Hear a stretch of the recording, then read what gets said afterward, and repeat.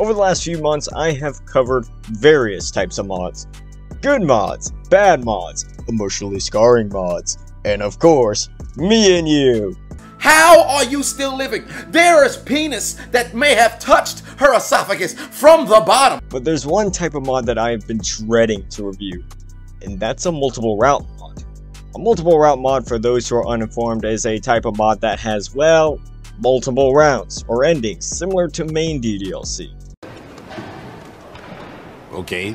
The reason why I have been putting this off is because of an unsureness of how I would structure such a review. But since the creator of Doki Doki Encore himself personally reached out to me to request a review of his mod, I'ma give it my best shot. Doki Doki Encore is what I would like to dub a legacy mod.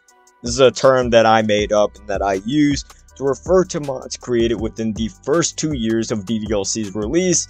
These mods essentially set the precedent for mod makers and future mods to be released. The best examples of legacy mods would include Blue Skies, the premier multiple route mod, and Exit Music, which I've already reviewed on this channel. You know, there's that card on the top right, you can go click on that and watch that if you haven't.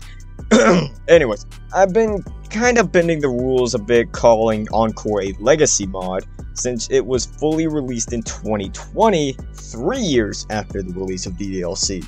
However, I will still call it a legacy mod because its roots go all the way back to August of 2018. Yes, you heard me right, Encore took nearly two full years to be released. What the fuck?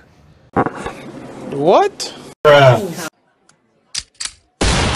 This is an insanely long development period for a mod. To put this into perspective, EMR Exit Music Redux took 17 months to release, which I've also reviewed on this channel, by the way. Encore took an extra 5, 5 months to be released. I would say that this is the longest development cycle for a mod, but Blue Skies has even Encore beat clocking in at a whopping 25 months. And of course, you can't forget about Vigilante or A Month with Natsuki, but eh, that we'll save that for another time. Hey yo, what the fuck? Are you done? You done, right? You done, right?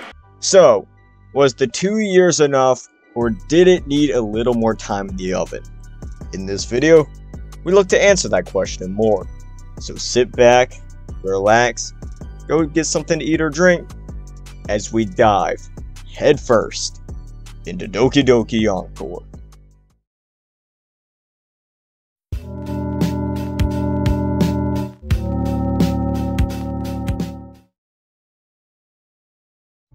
Okay, so I'm going to discuss the story of Encore, kind of. As I said, this mod is very choice heavy with 8 endings in total, so I'm not going to go over it in great detail, but instead, I'll go over my playthrough in particular and just give you the cliff notes of the other routes. That way, you can still download the mod and play it for yourself without too many spoilers. These nuts, these these these these nuts, these nuts, Right at the beginning, you were asked a couple of questions. Since Encore takes place right after the festival, which never happened in the main game, how you answer will determine what route you'll start off on. If you accepted Sayori's confession in the base game, you will start off on her route with the option to switch over to either Natsuki or Yuri later, depending on who you helped out on Sunday. If you friend zoned her like the piece of shit you are, Everybody hates you. You would be better off dead. Just go kill yourself. then you will start off on whoever you helped out on Sunday. You may have noticed that I said start off on. That's because Encore does something that no other mod, at least to my knowledge, has done and allows you to switch routes mid-game and yes, you can do this multiple times. Also, you can't start off on Monika route, but there is a route for her in the mod, so there is indeed something for everyone. Encore officially begins with MC being visited by Monika in his dreams. She tells him about how she's like really bad at coding or something and how It's rewind time. Oh no. Mother. He wakes up to a base Sayori barging her way into his room. Depending on what route you chose at the beginning will determine the dialogue you get here, although there aren't any significant changes outside of dialogue. I realize now that if I were to discuss all the differences between each route, it would take me even longer to finish this video, so I'm just going to talk about the events that are consistent across all routes unless I deem it important enough to bring up. MC and Sayori hit the school where nothing relevant happens until it's club time, as per usual. Remember that Encore takes place after the festival, and this is the first club meeting after that fact. We come to find out that it was a failure and the club got no new members at all. Monika is the last to enter and calls an emergency meeting. She essentially just starts coping to everyone and is really upset that the festival didn't go as planned. One by one, everyone attempts to cheer up and not make such a big fucking deal, and it seemed to work. Monika calms down and the club does the usual club things. I wonder if Natsuki will come out of that closet in June.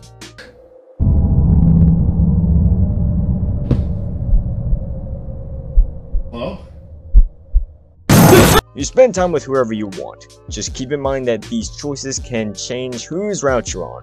Monika does a little trolling and moves Natsuki's Del Monte Mango can collection again, so MC goes over to help her.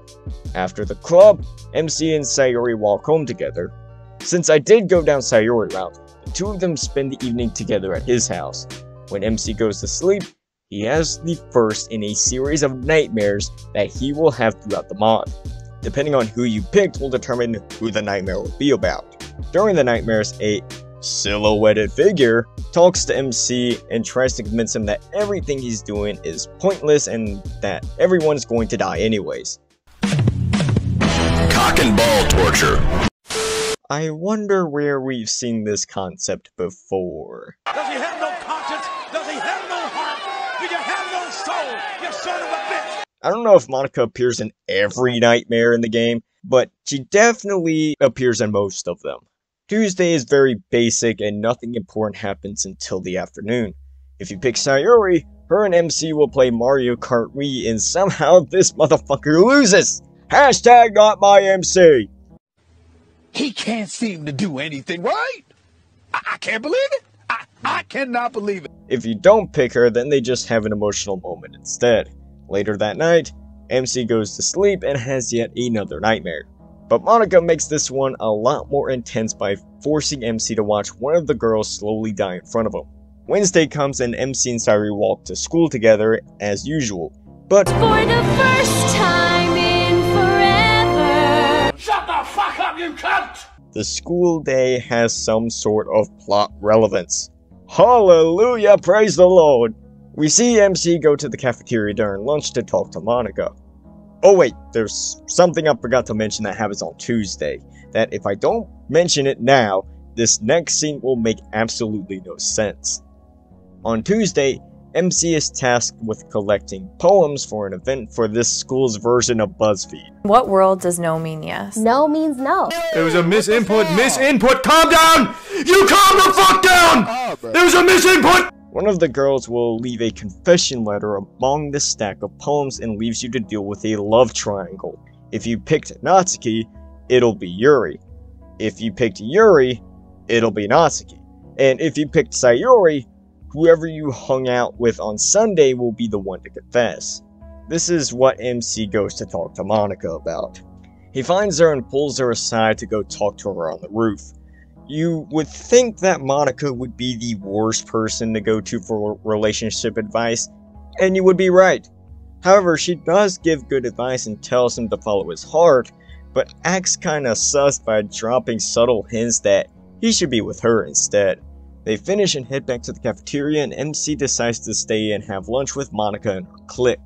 After lunch, you have the choice to walk back to class with Monika or by yourself.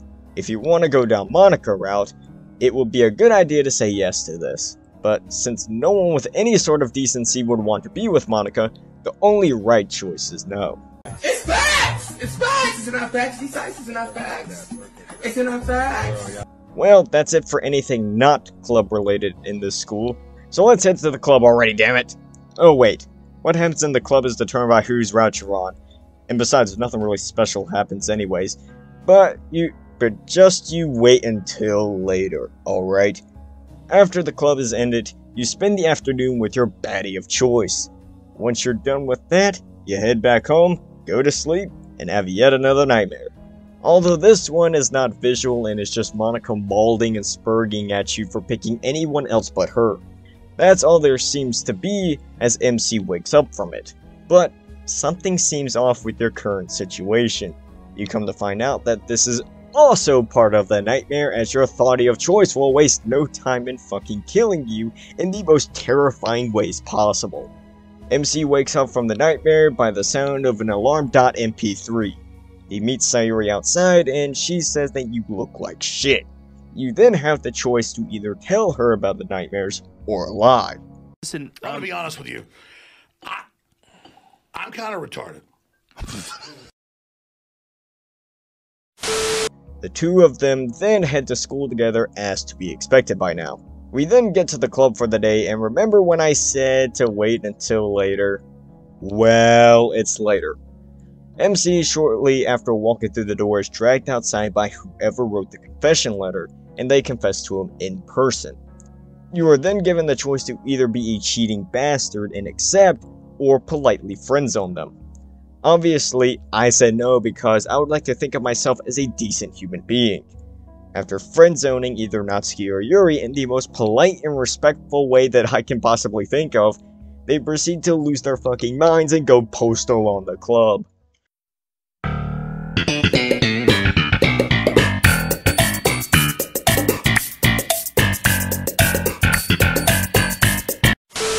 Okay, maybe not literally go postal, but just starts mauling and seething to everyone in the club. You are coping, coping and seething. You just can't accept what you're seeing.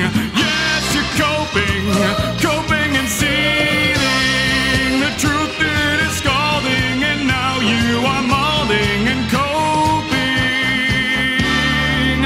I mean, it pretty much turns into like an MW2 lobby if you remember those. Yum yum yum yum yum. I eat dick all day. Yum yum yum yum yum. I eat dick. You wanna fight? You What a fucking homo. Let me just add real quick that Sayori gets treated like absolute shit during this scene for literally no reason. So much so that I legitimately feel bad for her, even though this is a game and none of this is real. The fighting continues for a while until a rightfully angry MC calls them out on their bullshit in the most MC way possible. Get that son of a bitch off the field right now. Out. He's fired.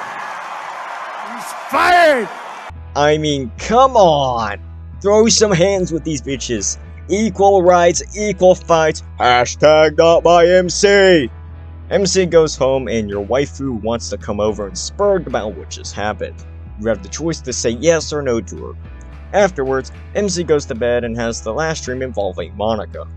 It's just her saying that tomorrow is the day and tells MC, don't help them. And now we are here, the dawn of the last day. Everything is the status quo until we go to the club. Monika calls an emergency meeting yet again. Amogus. And MC tells everyone that he is in a relationship with insert girl you want to smash here, and that nothing is going to change that. Insert your waifu here tries to tell the club about their, her specific problem, but is unable to. They then run out of the club and into an empty classroom. MC then goes to track her down and attempts to comfort her. Monika then appears in the classroom and goes sicko mode on everything, deleting your waifu in front of you and then sending you into space. She then strangles MC until he goes unconscious. When he comes to, Monika reveals to him the truth of the situation, that this is all just a video game, and that he is just a stand-in for you, the player, and that Monika is essentially a god in this world. Oh no, we're not done here. You're gonna have to pump a lot more out if you want to put a baby in me. He quickly accepts this as, for crying out loud, he's in fucking space. I would believe that Half-Life 3 would be released tomorrow if I were in MC's shoes and Monika was the one to tell me. He tries to convince Monika to undo everything that she did, but she ain't having any of it. She wants to get rid of the others entirely as they are causing the game to be unstable. But she won't do it without your consent. In common law, the age of this, signaling adulthood, is presumed to be 14 in boys and 12 in girls. Tom? What is the age of consent? Ladies and gentlemen, we got him. Monika brings all the others back to mess with you and convince you that deleting them is the best thing for them. She makes a console appear with a pre-entered code that will delete the others and leaves you with one final choice. Press enter, walk away, or try to enter something else into the console. I chose to enter something else. Now, you're given the opportunity to enter something into the console, and if you enter one of the Doki's names, Monika not included, then you will remove Monika's administrative privileges and free the Dokis from her. The girls will proceed to have some fun with Monika for all the shit she put them through.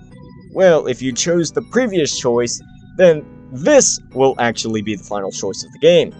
To step in and stop them from fucking Monika up, or to do nothing and let them kill her. There's a catch though. Monika stated earlier that the game is directly tied to her character file, so if she were to die, so would everyone else. I said screw it and let them kill her anyways because fuck Monika, all my homies hate Monika. Natsuki, Sayori, and Yuri each slowly torture and eventually kill Monika. And with her death, the rest of the game breaks down and is officially destroyed. And this marks one of the endings to Encore. As I said, there were 8 endings in total, and me telling you all of them defeats the purpose of this video, which is to incentivize you to actually play the mod for yourself. Also, I don't feel like making a 3 hour long video, so I'll leave it here. I'll encourage you to finish this video, and if you're still interested in playing, the download link will be in the description below.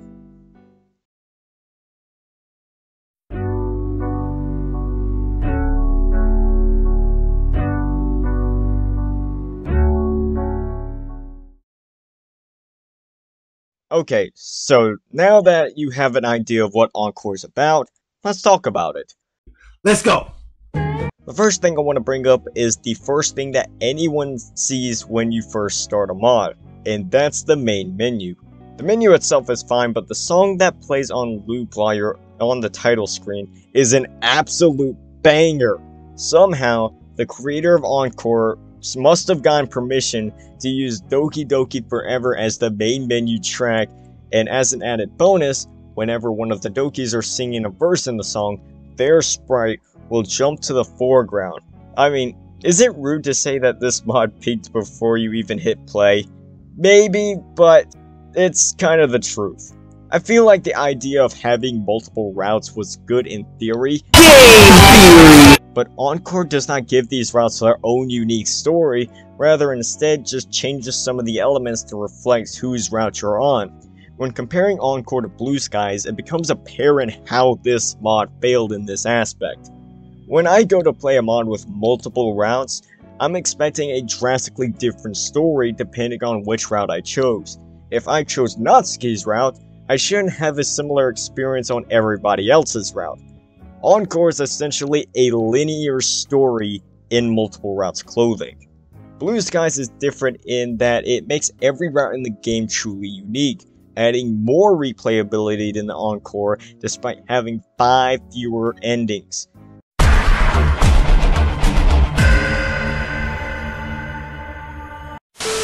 Who you decide to designate official waifu status to literally does nothing except determine which ending you get. But if you kill Monika off, then this doesn't even matter either. Now, I do have to praise how well the nightmare scenes were done.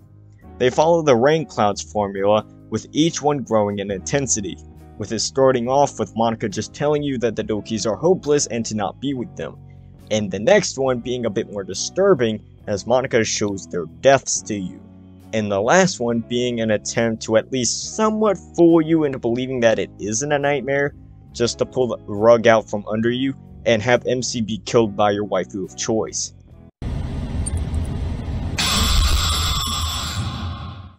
These nightmare scenes might just be the best part of the actual mod itself, just because they're entertaining to witness. Alright, so I'm going to flash a few images on screen right now, and I want you to formulate an opinion on them.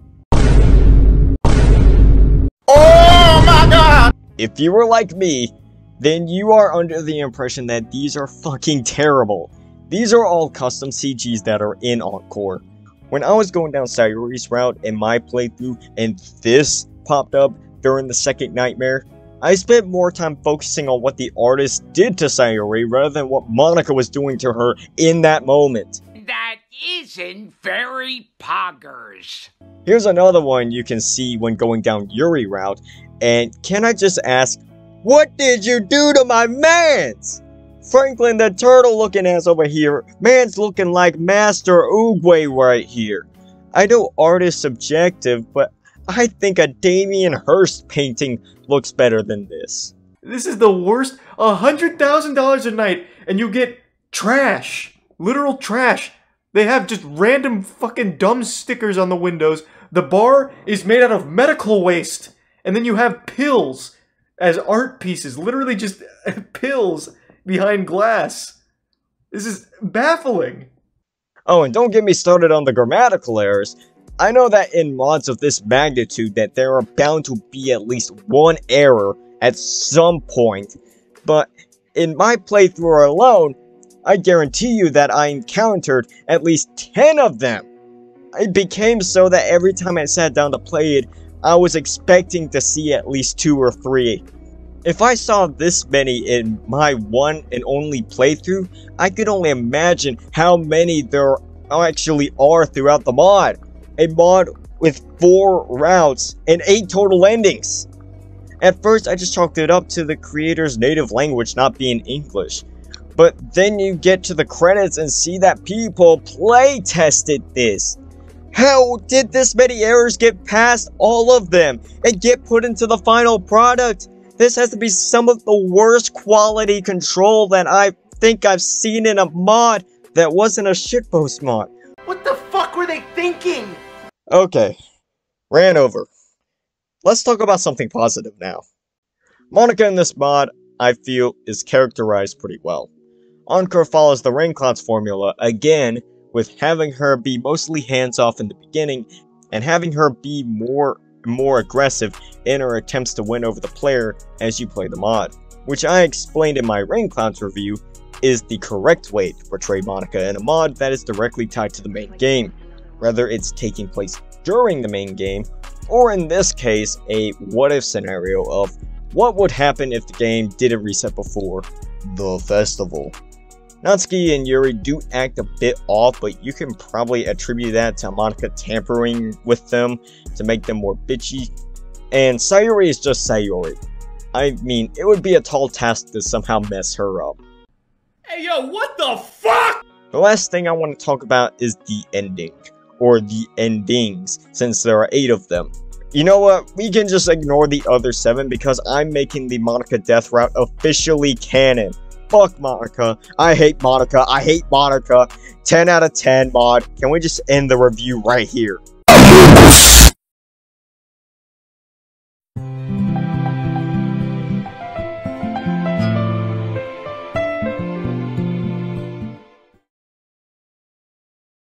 I'm not like other YouTubers that would make a review and lie to their audience just to generate views.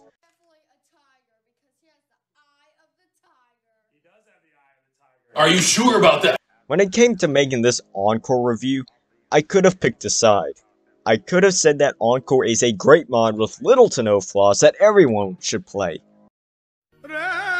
I could have said that Encore is absolute garbage and that I wouldn't even wipe my own ass with it. Yeah, I just took a mean ass shit in Chipotle. Instead, I chose neither. I chose to sit the fence on this one. Encore, in my opinion, is an average mod. It does some things well, such as the inclusion of Doki Doki Forever and the Nightmare Saints.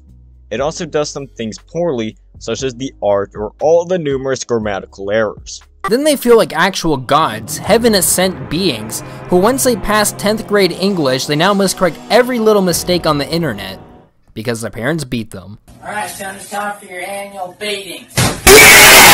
It's the same criticism I gave to Exit Music Redux.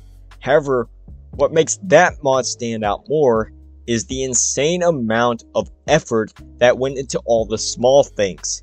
EMR, despite, in my opinion, and a lot of y'all's as well, apparently, being a subpar mod in the story department, it still delivers more replay value than Encore.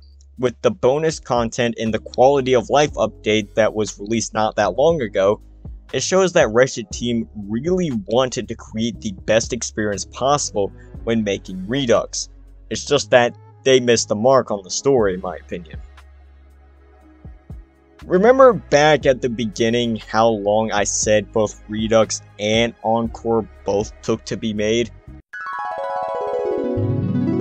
EMR Exit Music Redux took 17 months to release, which I've also reviewed on this channel, by the way. Encore took an extra five, five months to be released. Encore had a lot of time to be made, but all the time in the world can't fix a flawed concept. Having branching storylines that converge is cool in theory, but just simply didn't work here. Not saying I didn't have any fun playing the mod, I certainly did, but when comparing Encore to other DDLC mods I've reviewed, each of them has something unique and special about them that makes them stand out from the rest. Exit Music, in my opinion, is the greatest mod ever made. Redux is a remake with a ton of wasted potential. The mod with a name that's way too long is a fun Natsuki based mod that people would play after playing one of the last two mods I just mentioned. Rain Clouds is an experience of the main DDLC game through the eyes of Sayori, Natsuki Chill is my preferred way of exiting this plane of existence. Hold up. Wait a minute. Something ain't right. And Me and You is one of the most well written mods I've ever seen, and also this.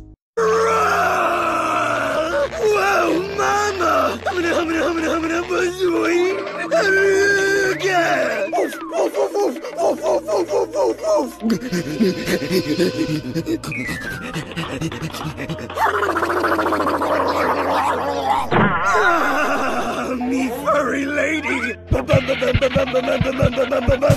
Not weird, a rare gift from God! Hunka, hunka, hunka, hunka, hunka, hunka! Oh my god! All of these mods have something I can say to differentiate them from the rest. But what is there to say about Encore? That it's the one where you can just kill Monika off? That it's a worse Blue Skies? This mod could have been so much more. But the converging routes just takes away all replayability because as the saying goes, all roads lead to Rome, all routes lead to Monika deleting the game, or trying to. See that? That's a stupid bitch. This is just another example of wasted potential, similar to Redux. I will say this much. If you're bored and want a mod to play that's long and has lots of choices, then this is a good mod for you. But I would always suggest Blue Skies or Fruits instead, because they are simply better than Encore at its own game. Well, you made it to the end of the video. I just want to say that if you're still interested in downloading and playing Encore for yourself, even after hearing me call it mid for the entire video, the download link will be in the description. And if you enjoyed this review and want to see more like it, hit that like button and subscribe and turn on that bell so that you will be informed when I make another video, for this is the one-stop shop for daily DDLC content. And if you have a mod you would like me to review in the future, drop it down in the comments below. I read all comments, and who knows, I might pick yours. And if I do, I'll shout you out in said video. And with that being said, as always, until next time, so long, comrades.